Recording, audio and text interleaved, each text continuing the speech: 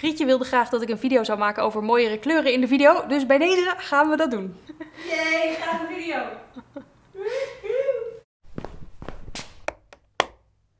Hoi, ik ben Riske en welkom op het kanaal van de Videomakers. Hier doen Grietje en ik ons best om jou te helpen met het maken van betere video's. Want wij zijn professionele videomakers en we vinden het heel fijn om gewoon kennis te delen, zodat jullie daar ook wat aan hebben.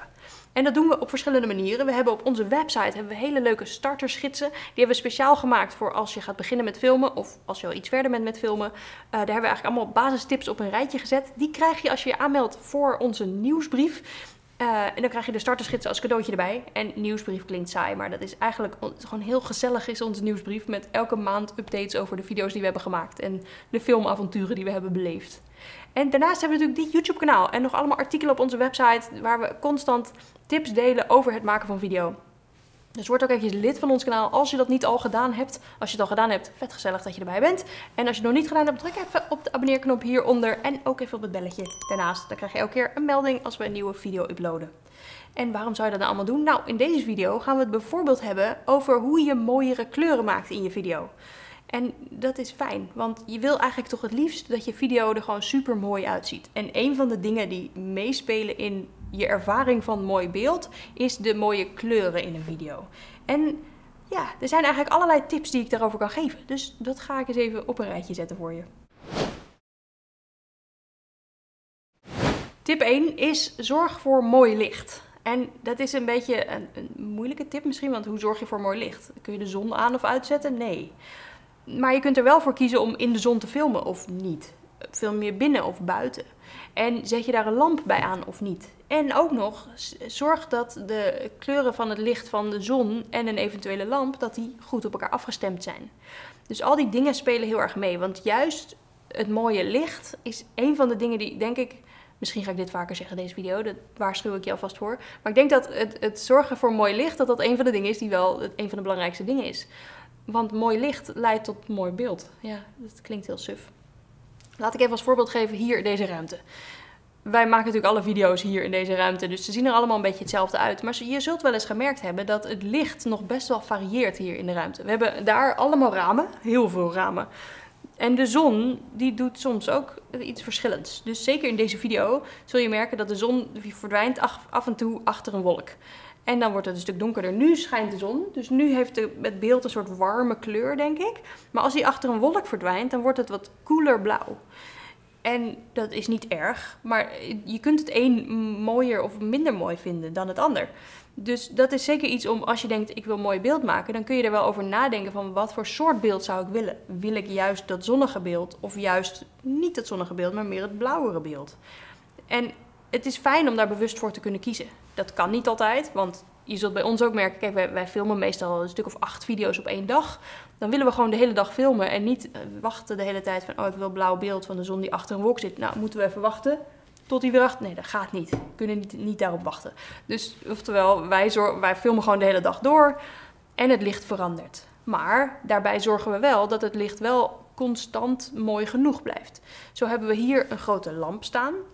Um, en die zorgt eigenlijk dat ik wel constant goed genoeg belicht ben. Dus als de zon dan achter een wolk verdwijnt, dan wordt de achtergrond donkerder, maar de voorgrond blijft eigenlijk goed genoeg belicht. Ik blijf goed genoeg belicht. Daarnaast hebben we nog bijvoorbeeld hier een lampje aanstaan en daar in de achtergrond staat een lampje aan, wat we ook altijd wel gezellig vinden. Dus dat maakt ook dat als het dan weer wat donkerder wordt, dan gaan deze weer een grotere rol spelen. En dat maakt eigenlijk dat het toch mooi blijft. En als het donkerder is, want we filmen hier ook wel eens op dagen dat het zo super grauw Hollands weer is, weet je wel, super donker buiten. Dan zetten we nog meer lampen aan. Ik heb nu dus hier één filmlamp. Soms zetten we dan nog daar een filmlamp in de hoek die een beetje de achtergrond belicht. Of nog daar misschien een filmlamp in de hoek, zodat het hele beeld, ook de achtergrond, dat dat een beetje lekker belicht is. Dus dat is toch wel iets waar we echt over nadenken tijdens het filmen. En wat daar dan ook nog belangrijk bij is, is dat ik zorg meest, meestal dat lukt, uh, dat die filmlamp goed is afgestemd op het licht van de ruimte. Als het buiten heel donker is, dan ga ik die ook zachter zetten. Want wat gebeurt er als het buiten heel uh, donker wordt en die staat nog op zijn maximale felheid, dan is dus die zo licht dat ik, de voorgrond wordt dan heel erg belicht en de achtergrond wordt heel donker. En dat ligt dan zo ver uit elkaar dat je dat ook echt gaat zien in beeld, dat de achtergrond echt donkerder is.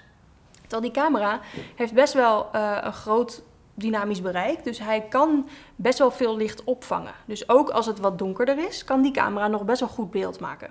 Oftewel, wat ik dan beter kan doen als het omgevingslicht wat donkerder wordt, dan kan ik beter die camera wat uh, beter instellen, zodat hij meer licht opvangt. En die lamp wat dimmen, waardoor die meer in evenwicht is met het achtergrondlicht. En daardoor is het geheel is dan mooier. Dus eigenlijk, ja, wat ik wil zeggen met dit punt, als, je, als ik zeg zorg voor mooi licht, zorg dat je, dat je je bewust bent van het licht wat er is. Dus het buitenlicht, wat doet dat? Heb je lampen tot je beschikking en kun je daar nog wat invulling mee geven? Um, of als je bijvoorbeeld buiten gaat filmen, wil je dan in de zon staan of juist niet? Wij merken bijvoorbeeld dat het vaak fijn is om juist niet in de zon te gaan staan, omdat je dan te felle lichten krijgt. Dat het mooier is in de schaduw bijvoorbeeld. Um, dus al die dingen is goed om over na te denken. En zeker als je net begint met filmen, zou ik je aanraden om gewoon goed te kijken. Kijk goed naar het licht, kijk door je camera en zie wat het doet.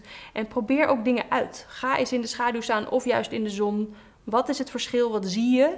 En wat vind je mooi? Wat hierbij ook erg meespeelt, is dat je ook genoeg licht gebruikt. En dit is zeker een kritisch punt wanneer je ook wat simpelere camera's gebruikt. Want hoe simpeler de camera, hoe slechter die soms is met het omgaan met minder licht. Zoals ik al zei, die camera waarmee we dit opnemen, die is best wel oké met minder licht. Ook niet fantastisch. De FS7's van Sony die staan er ook wel onbekend dat ze veel ruis krijgen als je echt te donker bent. Uh, of als de omgeving te donker is eigenlijk om te filmen. Maar uh, nog simpelere camera's. Ik denk bijvoorbeeld aan uh, de telefoon in je smartphone, de camera in je smartphone bedoel ik. Um, die zijn echt niet per se gemaakt voor filmen met weinig licht. Dus die zijn dan heel mooi, die geven heel mooi beeld als het zonnig is en je buiten aan het filmen bent. Maar als je binnen zit en er is één lampje en het is voor de rest donker, hmm, dan is het minder. Dus dat is ook zeker iets om rekening mee te houden. Dat je vooral genoeg licht moet hebben. En zeker als je een simpelere camera hebt. Omdat je gewoon bij te weinig licht ga je te snel een soort van digitale artifacts krijgen. Of ruis in beeld. En dat kan er gewoon minder lekker uitzien. Nu zeg ik niet dat je nooit moet filmen als het donker is buiten of zo. Dat, want ook soms kan het heel mooi zijn om wat donkerdere scènes te hebben. Ik zou er wel altijd voor zorgen dat je dan dat je hele plaatje licht heeft. Op de een of andere manier. Dus stel dat wij hier zouden filmen terwijl het buiten donker is, dan zou ik proberen te zorgen dat de achtergrond dus ook op een bepaalde manier licht heeft. Dus zet lampen aan in de achtergrond. Ik vind het ook mooi bijvoorbeeld inderdaad een lamp in beeld aan te zetten. Of zet in de achtergrond nog een paar kaarsen die branden. Waardoor je voor het oog ook gewoon licht in beeld ziet. Dat is heel fijn, vind ik. En ik heb het hier dan de hele tijd over licht. Maar licht heeft ook een kleur. ik had het nu over, even over kaarslicht. En al over uh, als de zon weg is, dat het licht blauw kan worden. Kaarslicht is rood. Uh, schaduwlicht is blauw. Als het s'avonds donkerder wordt, wordt het blauwer licht. Dat zijn ook dingen waarmee je kunt spelen om te zorgen dat dat mooi wordt. Dus kies bijvoorbeeld altijd één hoofdkleur in je licht. Dus nu hier heb ik een lamp die geeft daglichtkleur. Dat is een beetje wit of richting blauw. Uh, terwijl kunstlicht is oranje. En over het algemeen zou ik je aanraden om kleurenlicht niet te veel te mengen. Zeker niet op een gezicht. Want als je daarna wilt gaan nabewerken, is dat ook heel moeilijk, omdat het dan verschillend gaat reageren als er verschillende kleuren uh, licht op, op een gezicht zijn, bijvoorbeeld. Dus ik zou zeggen, als je een gezicht hebt, ligt dat dan enigszins met één kleur uit. Um, maar wees ook niet bang om toch kleuren te mengen. Want ik heb dus nu hier een kunstlicht, die is veel meer oranje dan het daglicht verder om me heen. Maar dat is ook niet erg. En kijk, deze geeft dan wel weer ook zo weinig licht dat het licht hiervan echt niet sterker is dan het licht van die lamp en van het omgevingslicht hier. Waardoor het licht op mijn gezicht toch voornamelijk het witte daglicht is. En hij maakt niet genoeg indruk hier zo, zeg maar. Maar als het veel donkerder hier is en het daglicht minder doet, die lamp veel minder, minder aanstaat, dan gaat deze natuurlijk ook licht op mijn gezicht werpen. En dat is dan iets waar je over na kunt denken, wil je dat of niet? Want dat krijg je niet meer eruit in de nabewerking. Je kunt het wel een beetje corrigeren, maar niet heel goed. Maar goed, het kan ook een keuze zijn. Dat je denkt, nou, ik vind het juist mooi om aan de ene kant blauw te hebben op je gezicht en aan de andere kant oranje. Maar wees daar dan wel bewust van en maak daar een bewuste keuze in. En je hebt ook nog kleurenlichten die niet zo mooi zijn. Zo kan TL bijvoorbeeld neigen naar groen. Als je de verkeerde TL-buizen hebt. En als je dat dan combineert met kunstlicht, wat oranje is, dan is dat soms heel vies. En dat krijg je soms echt ook in de nabewerking niet goed meer uit elkaar. Dus zeker dan bij TL en verkeerde kleuren licht zou ik echt zeggen, daar moet je echt op letten. En uh, goed opletten wat je doet. Dus ja, dat over eh, de kleuren van licht. Maar het hoofdpunt hier was uh, zorg voor mooi licht. Net zei ik zorg voor mooi licht. En dan bedoelde ik eigenlijk voornamelijk dus dat je nadenkt over het licht wat van buiten komt, lampen die je aanzet of niet, uh, ga je in de schaduw staan of niet. Het volgende punt gaat eigenlijk meer over wat je met de camera doet. Want wat het licht ook is, vervolgens moet je daar je camera op instellen. En daar zijn een aantal punten waar je dan aan kunt denken. De allerbelangrijkste instelling op je camera als we het hebben over kleur en mooie kleuren maken is natuurlijk de witbalans van je camera. Nou hebben we daar een hele video over gemaakt, geloof ik. Uh, dus die uh, zullen we zeker ergens bij deze video linken. Check die zeker als je die nog niet al een keer gekeken hebt. In elk geval gaat het erom dat je dus je witbalans goed instelt. Dus zorg dat als er daglicht is in je, in je beeld, dat je je witbalans van je camera ook op daglicht zet. En als er kunstlicht, zoals dit in beeld is, zorg dat je je camera op kunstlicht zet. Maar dan heb je natuurlijk ook nog de situatie, eigenlijk een beetje zoals nu, dat je het allebei hebt. En wat doe je dan? Ja, dat hangt een beetje vanaf. Kijk, nu zitten we eigenlijk echt in een daglicht-situatie. Want zoals ik al zei, dit lampje en dat lampje daarachter, die geven niet genoeg licht om hier te kunnen zeggen dat we nu in kunstlicht-situatie zitten. Dit is gewoon toch wel echt daglicht. Maar als het inderdaad donkerder wordt, dan gaan die lampen een grotere rol spelen. En dan kun je op een gegeven moment denken, misschien wil ik nu toch naar uh, kunstlicht. Nou heb je ook, ik bedoel, verschillende camera's hebben verschillende manieren waarop je de, uh, de witbalans kunt instellen. Soms heb je presets, dan zijn ze gewoon, hè, dan kun je bijvoorbeeld kiezen uit een kunstlichtlampje, zie je dan, zeg maar, zo'n peertje. Of een zonnetje, of een wolkje. En dat zijn dan presets. Sommige camera's die hebben een, eigenlijk de meeste hebben ook wel een auto-witbalans. Dus automatische witbalans dat hij het voor je gaat instellen. Of je kunt uh, het met een soort ja, uh, getalletje doen. Dus dan staat er K, en dat is van Kelvin, van de, de, de kleur van licht wordt gemeten in Kelvin. Um, en daarmee, daar kun je getal achter instellen. En dan is het uh, hoe lager, hoe meer richting kunstlicht. Ik, ik moet even goed zeggen. um, dus rond de 3000, 3500, dat is kunstlicht. En gaan we naar 5600, misschien 6300, dat is allemaal daglicht. En alles daartussen, dat is dus ook de tussenvorm. Dus ik heb bijvoorbeeld vorige week nog ergens gefilmd waar ik echt een groot raam in de achtergrond had. Maar het was al een beetje aan het schemeren. Of het was gewoon een beetje sowieso een beetje een grauwe dag. Dus het licht buiten was best wel blauw. En het was, we filmden binnen en het was echt een vrij donkere ruimte. Waar weinig ramen waren. Dus de, de hoeveelheid licht die uit die ramen kwam was heel minimaal die hadden niet. Kijk, hier hebben we inderdaad zulke grote ramen dat het daglicht hier een grote rol speelt. Daar speelde het daglicht een hele kleine rol, omdat de ramen eigenlijk toch klein waren. Ze waren alleen in beeld wel zichtbaar. Um, en ik heb dan één lamp bij me. Dat is dan niet genoeg om die hele ruimte eens even mooi uit te lichten. Oftewel, ik was afhankelijk toch ook van het kunstlicht wat daar hing, of de TL die daar hing. Nou, het was een hele warme TL die volgens mij op de plek waar we interviewden was hij niet heel groen. Hij was in een andere ruimte waar we ook nog wat sfeerbeeld hebben opgenomen, was hij best groen. Dat ik daar aan het filmen was, ik dacht, oeh, dit is groen, dit is lelijk.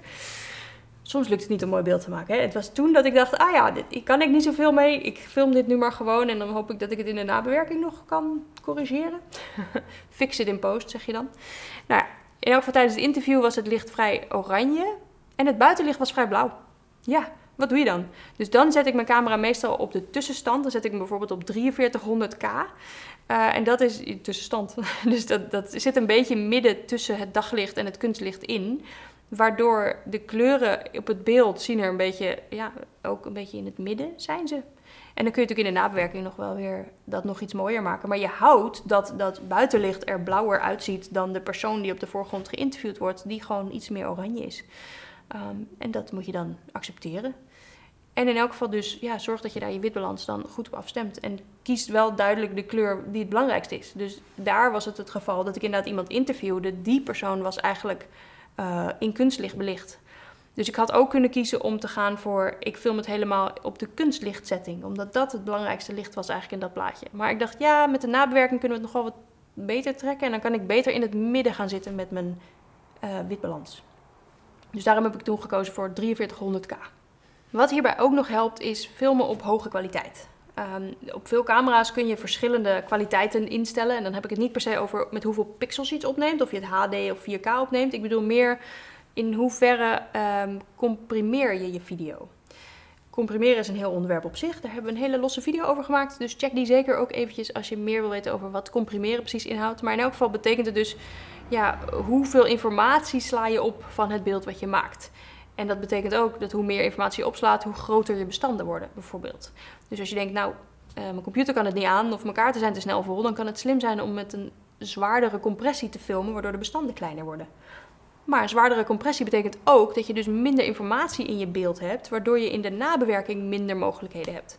En ik vind het heel fijn. Kijk, bijvoorbeeld zoals ik vorige week filmde in een ruimte die best wel veel kunstlicht had, maar ook daglicht en dan vind ik het fijn dat ik kan filmen op 4300k. En ik weet dat ik film op een hoge kwaliteit, waardoor ik ook in de nabewerking nog wel ruimte heb om wat te doen met kleurbewerking. Waardoor het er toch nog mooier gaat uitzien dan dat hoe ik het opneem. Naast de verschillende opties voor compressie die er in een camera zitten, heb je vaak ook nog wel kleurinstellingen. Uh, in sommige camera's heet het dan uh, natuurlijk of uh, sepia is een typisch ding wat je vaak tegenkomt. Of extra veel kleur of allerlei andere soorten presets die een kleurzweem toevoegen. Over het algemeen gebruik ik die gewoon niet. Want als ik al een kleurzweem wil toevoegen, dan doe ik dat graag in de nabewerking en niet in de camera. Maar ik heb wel een kleursetting die ik wel vaak gebruik en dat is log. Log is een instelling van de camera die we al vaker hebben besproken hier op het kanaal. Dus ook daarvan kun je nog een andere video kijken. Uh, maar in het kort komt het erop neer dat je met log, met een log instelling, ga je je beeld grijzer opnemen. Dus er zijn minder contrasten, er zijn minder diepe zwart, er zijn minder hoge wit. En je hele beeld ziet er een beetje grijs en grauw uit. Super lelijk. Maar het voordeel van log is dat je in de nabewerking meer ruimte hebt om ja, het beeld weer precies te maken zoals je het wil hebben. Dus log is niet per se een hogere kwaliteit. Het is gewoon een andere manier waarop de camera de kleuren opslaat. Waardoor je in de nabewerking meer ruimte hebt. En dat kan heel fijn zijn, omdat je daardoor bijvoorbeeld meer ruimte hebt uh, in je contrasten. En stel dat je bijvoorbeeld een hele contrastrijke dag hebt, uh, dan dat, het heel donker, dat er heel donkere partijen zijn, maar ook hele lichte partijen, dan is het moeilijk soms om dat te vangen in één plaatje. Want dan heb je al snel een deel wat overbelicht en wat onderbelicht is. Maar met log kun je het alle twee, je drukt het in feite een beetje samen, waardoor je wel die ruimte hebt. En daarbij is het met log zo dat als je kleuren niet helemaal lekker zijn, bijvoorbeeld doordat er ergens een TL'tje aan staat of je zit toch te oranje, dan heb je met log ook meer ruimte om nog naar de juiste kleur te komen in de nabewerking. Dus dat is eigenlijk ook heel fijn. Dus dat maakt ook dat ik me tijdens het filmen, als ik op log film, dat ik me iets minder zorgen maak om de kleuren, omdat ik wel denk, ik zit op log. Dus het is allemaal wat grijzer. De kleuren voegen we achteraf toe. En dan heb ik gewoon wel daar meer ruimte om die nog extra mooi te maken. En tenslotte speelt de ISO ook nog mee. ISO Vroeger heette het ASA in de fototoestellen. ISO is eigenlijk uh, je gevoeligheid van je sensor. Dus hoe hoger de ISO, hoe gevoeliger de sensor wordt. En daarmee kun je dus meer licht vangen. Dus stel dat je in een wat donkerdere situatie filmt, dan kun je de ISO hoger zetten en dan vang je dus meer licht, wat prettig is. Maar als je ISO hoger zet en meer licht vangt, dan wordt ook de ruis wordt groter. Dus hoe hoger de ISO, hoe meer ruis je krijgt. Dit soort details gaan we trouwens veel dieper op in in onze basiscursus over fotografie en video. Daarin leggen we alles uit over ISO, sluittijd, diafragma, kleur, compressie. Uh, dus als je daar meer over wil weten, dan raad ik je zeker die cursus aan. Dan gaan we er echt diep op in. Nu wil ik gewoon alleen even zeggen ISO. Let op ISO. Want als je ISO te hoog zet, dan krijg je dus ruis. En ruis is iets wat je op zich al lelijk kan vinden, dat er ruis in je beeld zit. Maar het kan ook zeker iets met je kleur doen. De kleuren worden ook vaak minder echt goed opgenomen. En wat je ook ziet is dat zeker bij wat goedkopere of nee, simpelere camera's zou ik willen zeggen, dat de ruis daarvan ook minder mooi is. En wat je ziet is dat je soms bij simpelere camera's ook ruis hebt die een soort van kleur heeft. En dat is een beetje gek. Kijk, vroeger toen we nog filmden met, uh, of fotografeerden met analoge fototoestellen, daar had je ook ruis omdat het in de negatieve zat in feite ruis. Dat was dan ASA. En negatieven werden gemaakt met een soort kristallen. En daardoor kreeg je ruis. En dat was eigenlijk heel mooi. En zeker met zwart-wit fotografie, dan heb je die zwart-witte ruis. Dat vinden we mooi. Met digitaal krijg je veel meer dat, dat, dat er lelijker uit gaat zien. En zeker met kleur heb je ook nog dat die ruis soms ook nog een kleur aanneemt. Dus dat er in de ruis zitten bijvoorbeeld groene en rode stipjes als je op inzoomt, zeg maar. Nou, dat is lelijk, dat wil je helemaal niet. Uh, dus ruis kan zeker ook wel iets met je kleur doen. Dus hoge ISO bevordert de kleur niet, zeg maar. Dus eigenlijk zou ik je aanraden om met een lagere ISO te filmen. Maar goed, het kan niet altijd, want soms ben je in een situatie waar het licht wat donkerder is. Dus dan moet je misschien toch je ISO omhoog doen. Of kijken of je meer lampen kunt gebruiken, of ga naar een lichtere situatie. Ja, allemaal dingen die meespelen. Inmiddels zie ik trouwens dat het licht wat donkerder is geworden om me heen. Dus ik denk dat dat nu ook de kleuren van het beeld beïnvloedt. Dus ik vraag me af of je dat nu mooier vindt, minder mooi. Ik heb het natuurlijk ook nog nabewerkt. Maar, ehm, maar ja, het heeft wel effect. Je, je ziet waarschijnlijk wel verschil. Het volgende wat ook meespeelt in de kleuren en in het licht van het beeld, dat is je lens van je camera en het merk van je camera.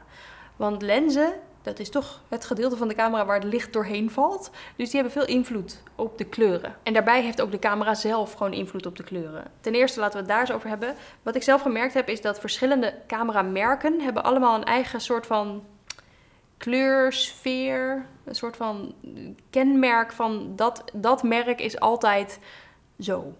Wat bijvoorbeeld bekend is, is dat Sony staat er bekend om dat het beeld een beetje richting groen kan neigen. Vind ik zelf niet heel prettig. Dat, voor de huidskleur is dat niet wat je wil eigenlijk. Canon staat erom bekend dat het beeld een beetje richting rood kan neigen.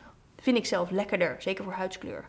Um, ik heb het gevoel dat deze verschillen met de jaren wat minder worden. Alsof ze allemaal een soort van beter worden en meer neutraal beeld gaan maken. Maar um, het is toch wel iets wat meespeelt. En het is ook echt een reden dat ik zelf heel erg hou van de Canon. Omdat die gewoon altijd qua sensor een bepaalde kleursfeer meegeeft. En het zijn minieme verschillen, maar, maar goed, ja, ik bedoel, ik ben zoveel met video bezig en met fotografie, dat ik dat op een gegeven moment, als je maar lang genoeg mee bezig bent, dan ga je dat zien, dat verschil. Het is ook iets wat je moet leren zien. En kijk uit, want als je het eenmaal leert zien, dan kun je het ook niet meer onzien. Dus dan word je daarna een beetje een camera-snop, zoals ik ook. En dan wil je steeds meer dure dingen. Dit is het nadeel. Um, in elk geval, je cameramerk en je lens hebben dus ook invloed. Een van de dingen die de lens doet, is bijvoorbeeld chromatische aberratie. Dat is een, een soort bijeffect die een lens kan hebben. En dat heb je misschien wel eens gezien als je bij wat goedkopere lenzen, heb je soms in de randen van het beeld... Uh, ook wel eens in het midden van het beeld, met de randen zien het vaak het meest, dat, dat er kleuren ontstaan die er niet zijn. Kijk dan bijvoorbeeld naar contrastrijke delen. Bijvoorbeeld als je een boom gefotografeerd hebt en dan heb je donkergroene blaadjes tegen een witte lucht erachter. Langs de randen van die blaadjes zie je dan soms bijvoorbeeld een paars randje ontstaan. Dat is er niet, dat bestaat niet. Die blaadjes zijn gewoon groen en de lucht erachter is wit. Maar door ja, het effect, de manier waarop het licht breekt in de lens, ontstaat er dan soms een vreemd kleurrandje. Groen zijn ze ook soms, die randjes. Uh, het hangt er maar net vanaf wat het is. Maar goed, dit doet natuurlijk toch iets met je kleurervaring van het beeld. Daarnaast heeft een lens ook nog het effect dat het weer invloed heeft op de ISO. Ik had natuurlijk hiervoor al even over de ISO. Dat een hogere ISO ook negatief kan werken voor de helderheid van je kleuren in je beeld. Um, en ISO moet soms omhoog omdat je niet genoeg licht hebt. En genoeg licht hebben kan ook liggen aan je lens. Want lenzen hebben allemaal een soort maximale open diafragma, dus hoeveelheid licht die ze kunnen binnenlaten. En betere lenzen hebben bijvoorbeeld een diafragma wat verder open kan. Niet zo groot meestal, dan heb je een hele grote lens. Maar een groot open diafragma, dat laat dus meer licht binnen. En dat betekent dat je ISO weer omlaag kan. Dus ook op die manier heeft een lens invloed op de kleur van je beeld en op de helderheid ervan. Laten we het dan ook nog even over de nabewerking hebben. Ik heb natuurlijk al een aantal keer genoemd dat ik kleuren achteraf nabewerk. En dat is dus wel zeker iets als je denkt, ik wil mooiere kleuren in mijn beeld. Ga dan kleur bewerken. Dat is eigenlijk de tip. Ga kleur bewerken. en dat is een beetje makkelijker gezegd dan, dan gedaan, want kleurbewerken kan ook nog wel lastig zijn.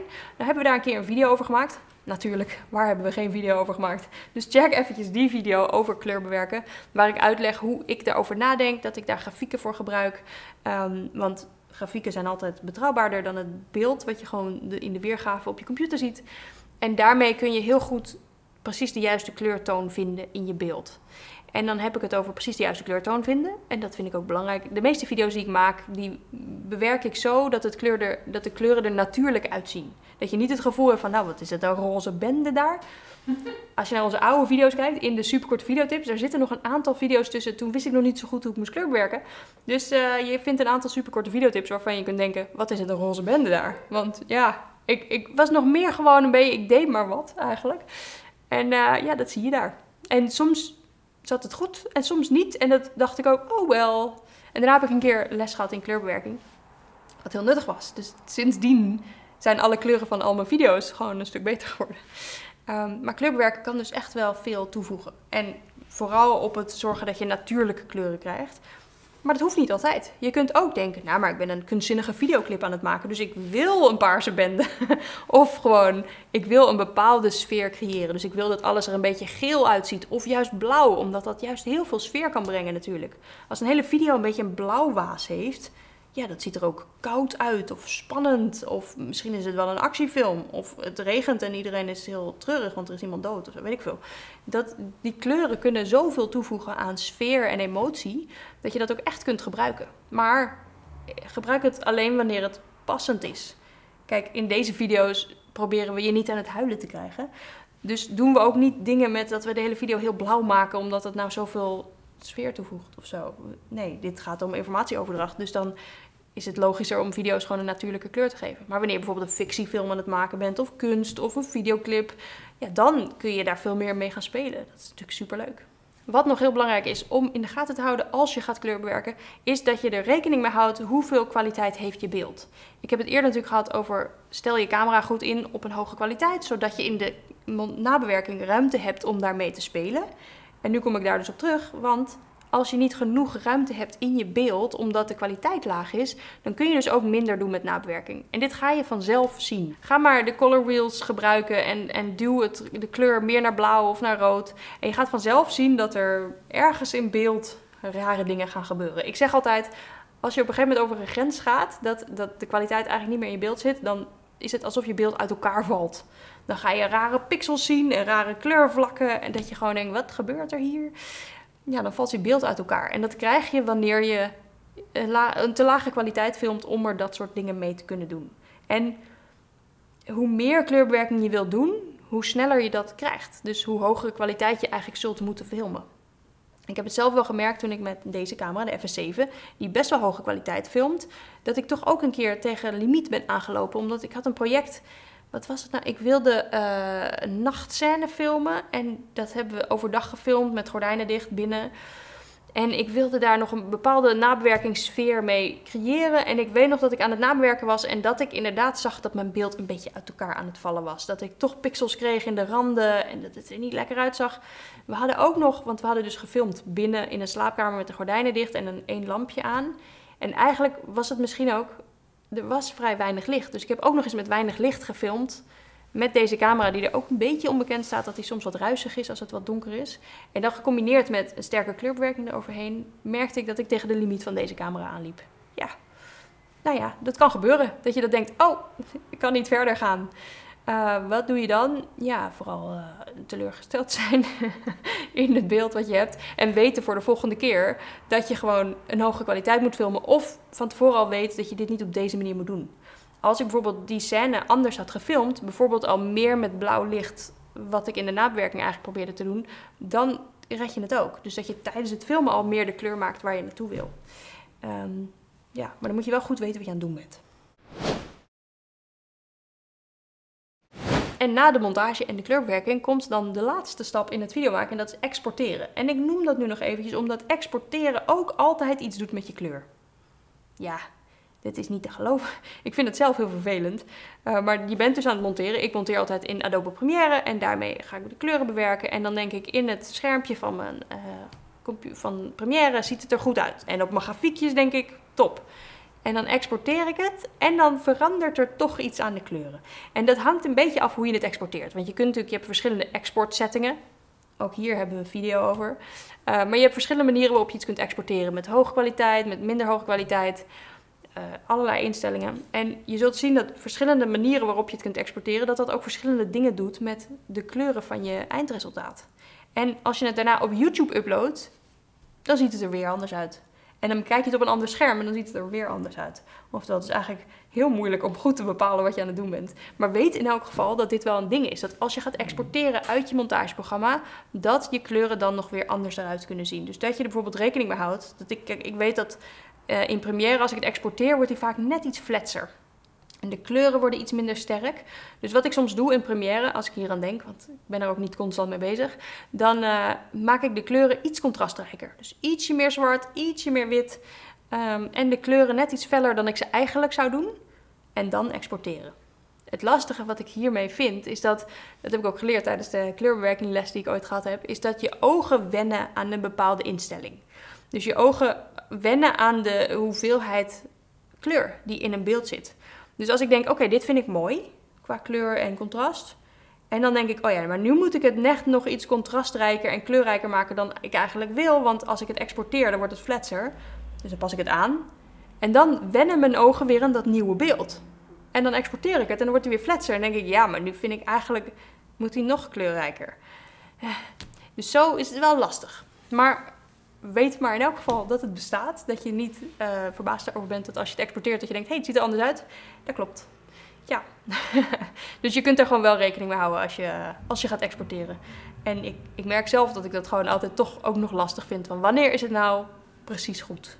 Nou ja, dat vergt oefening en uh, goed kijken. En ook op een gegeven moment loslaten en denken, zo is het goed. Ja, ik denk dat ik uh, aan het einde ben gekomen van deze video over kleur. Ik merk dat ik het nog een ingewikkeld onderwerp vond, omdat er zoveel over te zeggen valt en dat licht wat verandert, dat het ingewikkeld is. Zoals je in deze video wellicht ervaren hebt dat het licht hier veranderd is. Um, maar ik denk dat het wel een interessant onderwerp is, omdat kleur en licht eigenlijk daarbij is wel echt de manier waarop je mooi beeld maakt. Dus het is echt wel een goed ding om op te studeren en wat maakt het beeld nou mooi en zorgen dat je daar gewoon echt goed je best op doet. Ja. Nou, heb jij nog gedachten die ik niet genoemd heb waarvan je denkt, ja maar dat is belangrijk om op te letten als je mooie kleur wil maken? Uh, laat dat soort gedachten zeker achter in de reacties hier onder de video of stel een vraag als ik dingen vergeten ben te noemen. Um, ja, tot hier. Uh, dankjewel voor het kijken en veel succes met filmen.